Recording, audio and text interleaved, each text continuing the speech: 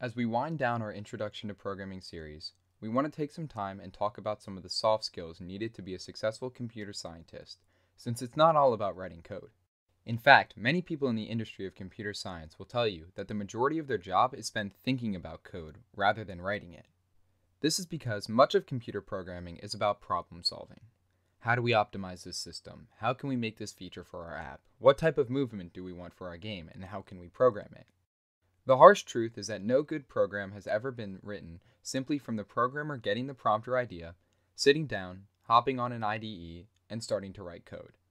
There are many tasks we must complete beforehand in order to plan out our code, so we can ensure that when the time comes to program, it's a clean and easy process, and not riddled with mistakes and bugs. This is where pseudocode comes into play. Think of pseudocode like this. If you wanted to go and plan a trip to the Grand Canyon, would you simply hop in your car and drive off and figure things out later? No, because that would be ridiculous. Instead, you would spend some time planning out the trip. What sites or places do you want to visit? What hotel reservations are you going to have to make? What kind of things are you going to do when you get there? What routes or highways are you going to take and why?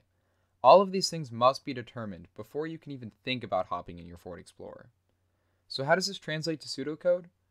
Well, programmers use pseudocode, pseudo meaning not real, and code meaning, well, code, as a means to plan out their programs before they write them.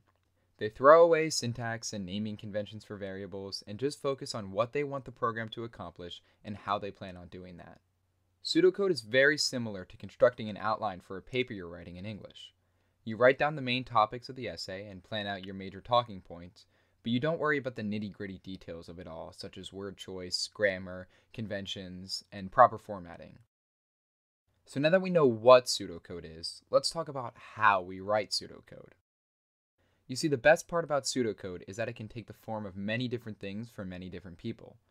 Since there are probably hundreds of different methods of writing pseudocode that are used by computer scientists today, I'd like to focus on three popular ones which I believe to be extremely useful. The first of these three is using flowcharts to think through the process of certain functions. Many programmers do this and lay out the conditional statements and loops they want as different blocks in the flowchart and then begin testing cases. Uh, if the user enters this number, I want the program to do this. However, if the user doesn't, then return this. It's a great way to visualize what the function's overall purpose is and also look for any errors that you may have missed when thinking about the function. Additionally, it abstracts the programming statements up to simple blocks, making it easier to modify and change. The best part is that when you have finished testing cases, you can simply convert the blocks into statements and you have a well written function without any debugging needed. Another popular pseudocode technique that is used often is to simply write out what you want your code to do chronologically. Don't necessarily think about how you want to do it, just talk about from start to finish what is the program you are writing going to complete step by step. For example, let's say you're making an app that takes in two numbers and divides them. The pseudocode for that would look something like this. First, I want to wait for the user to input the first number. After I get the first number, I want to wait again for the user to input the second number. Finally, after the user has inputted the second number, I want to divide the two numbers and return the result back to the user. This all seems like it would be complete common sense, but remember that oftentimes we're not going to be working with simple division functions. We may be working with full scale games, algorithms, or user interfaces with many different options. This method allows you, the programmer, to not get bogged down with the syntax and conventions you have to follow. You're just making a note of what the program's ultimate goal should be, as if you were explaining it to a friend of yours. This method really lets you plan out everything that needs to happen in your program in order for it to run smoothly. This way, you don't forget about a piece of an algorithm or a certain function that you need to write in afterwards. The final pseudocode strategy that I'd like to talk about today is writing out the main features you want the user to have when using your program, and what functions or smaller programs you're going to need to complete those features. Let's do another example. Say you're making a banking interface, and you want the user to initially have two different options. They can set up a new account or log into their existing account. From there, if they log into their account, then you want them to be able to withdraw money, deposit money, take out a loan, or pay back a loan. If they decide to set up a new account, you want them to be able to create an account and then access all of the features that a returning member would have normally.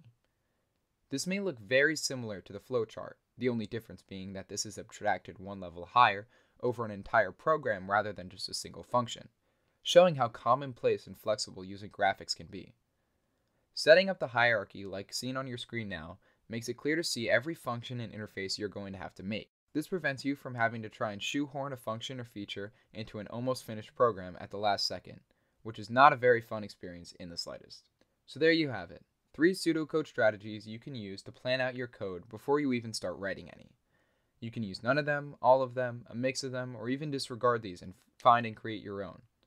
The main goal here is to drastically minimize the amount of errors that occur during programming and relieve a lot of stress on your head, and so whatever method you decide to use will work. That's all for today. Next episode, we'll stop talking about programming altogether and go over how to move on once this series is over, and how to pick the right programming language to study.